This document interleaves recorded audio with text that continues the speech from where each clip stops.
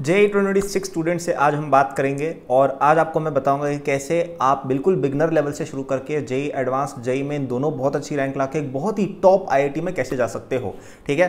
तो सबसे पहला सवाल तो ये आता है कि क्या ये पॉसिबल भी है? तो भाई मेरे बिल्कुल पॉसिबल है। दो साल आपके पास हैं पूरे और चलो दो तीन महीने चलो जा चुके हैं तो भी it's a very significant amount of time and कई सारे स्टूडेंट्स इससे कम टाइम में बहुत अच्छी रैंक्स निकालते हैं right and there is no reason why you can not okay तो एग्जैक्ट स्ट्रेटजी की बात करने से पहले जे ट्वेंटी सिक्स कोर्स जो मेरा चलता है, उस पर एक बहुत ही प्यारा डिस्काउंट आपके लिए आया है।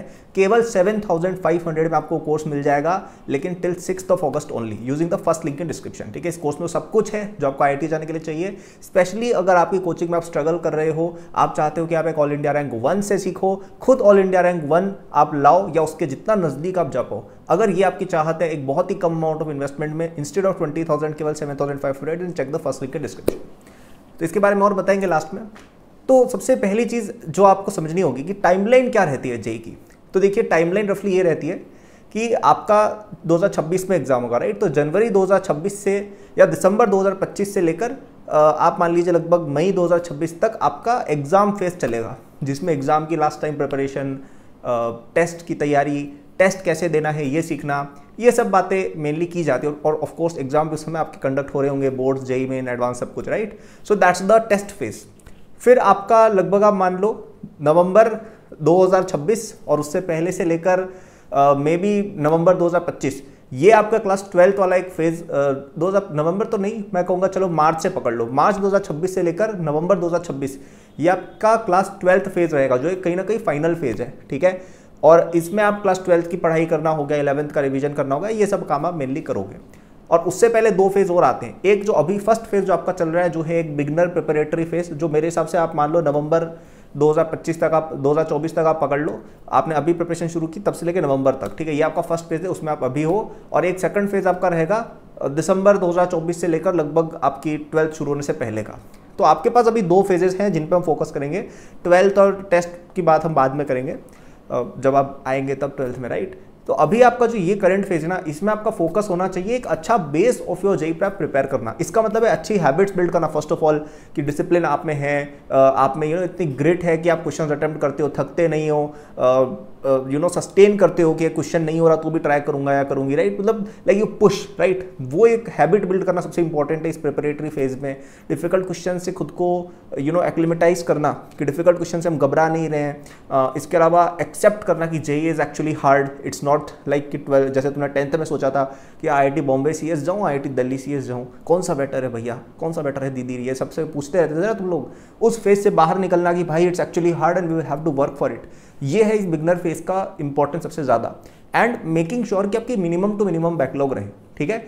Specially at a base level देखो एडवांस के क्वेश्चन नहीं बनते, बच्चों से बिल्कुल सही बात है। एडवांस की मेन प्रिपरेशन होती है आपकी जनवरी अटेम्प्ट के बाद, ठीक है? मेन प्रिपरेशन तब होती है एडवांस की। अभी तो आधे बच्चों से नहीं होते यार एडवांस के सवालों कोई बड़ी बात नहीं है, ठीक है? That's not a big deal but at least her concept के बेसिक्स आपके हैंड्स पे होने चाहिए कि भाई आपसे पूछ लिया कि बताओ इस वाली चीज़ का आई नोमेनक्लेचर कैसे है? तो ऐसा नहीं कि भाई क्या होता है ये क्या होता है ऐसे नहीं होना चाहिए। आपको पता होना चाहिए कि भाई this is how it goes right quadratic में भी एक सर्टेन क्वेश्चन टाइप आ गया आपको पता होना चाहिए कि भाई अच्छा, अच्छा इसमें तो ये लगता है राइट या फिजिक्स में जैसे रोटेशनल में आपको मोमेंट ऑफ़ इनर्शिया स्फेयर का पूछ लिया तो आपको याद है।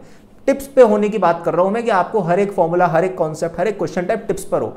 इतना अगर आपने इलेवंथ के अंदर कर लिया आपकी नैया पार है। आपको आईआईटी से जाने से कोई रोक ही नहीं सकता।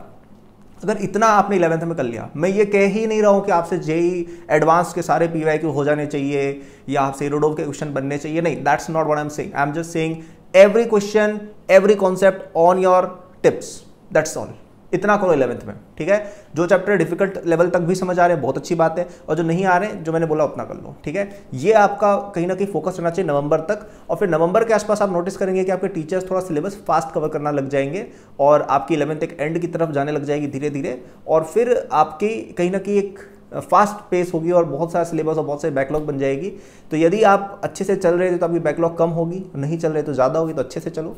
एंड एक और इंपॉर्टेंस एक पीरियड का ये है कि आपकी कोशिश ये रहनी चाहिए कि ट्वेल्थ शुरू होने से पहले एक बार इलेवंथ आपकी पूरी रिवाइज हो जाए। ठीक है? ये अगर हो जाता है ना तो बहुत आपको बेनिफिट आगे देखने को मिलता है।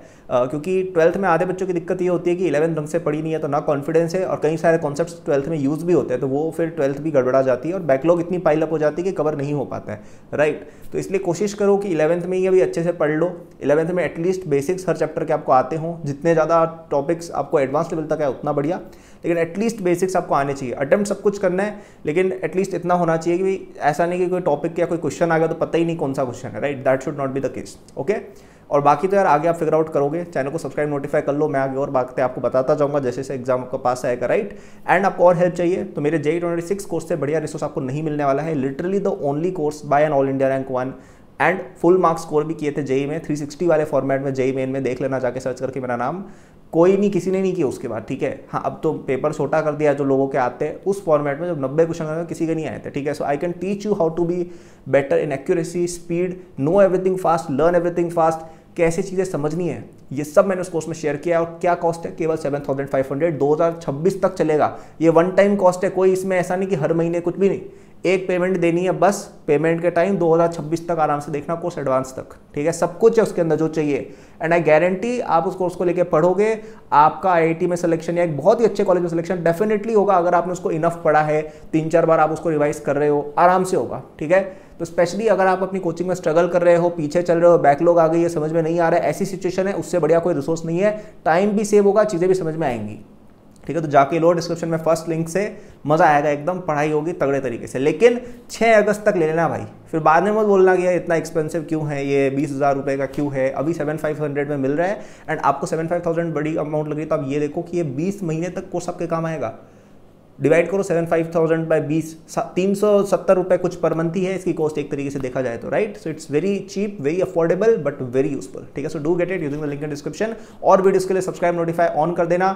और नीचे डिस्क्रिप्शन में आपको मेरे फ्री शॉर्ट नोट्स और भी बहुत सारे रिसोर्सेज मिल जाएँगे वो चेक करना ना भूलना। Thank for watching good luck